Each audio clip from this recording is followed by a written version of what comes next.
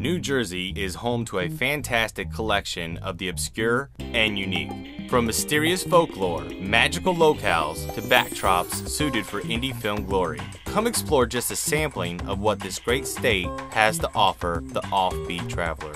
There's no better way to start off our journey than with a little magic. Martinka and Company in Midland Park has been in business since 1875, making it the oldest magic shop in America with a pretty interesting history. In 1902, the Society of American Magicians was founded in the back room.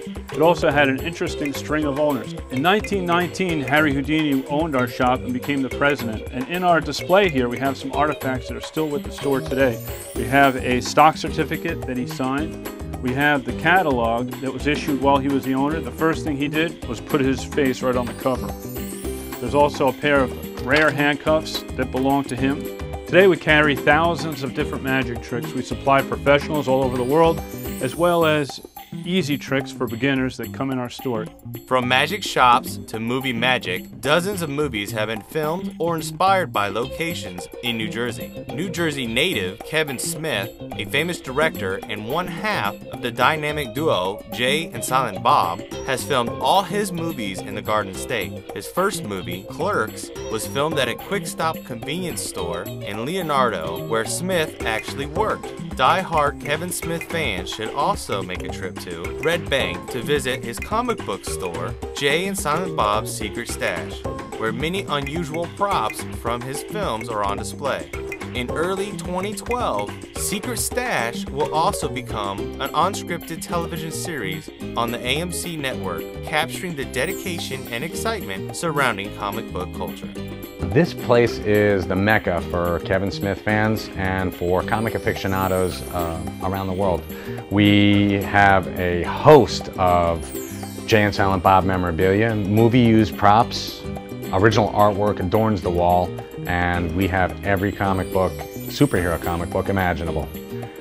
We also have in-action figures. We've got clothing, bowling shirts, We've got just about anything Kevin Smith related that you can imagine.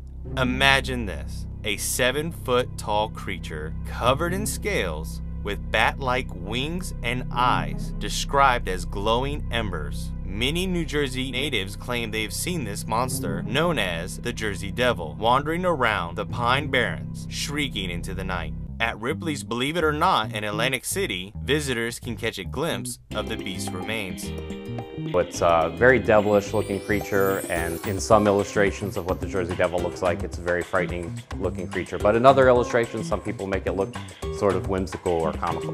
The good thing about coming to a Ripley's museum is that uh, in most of the Ripley's museums, you can go to that museum and see things that are uh, unique to that location.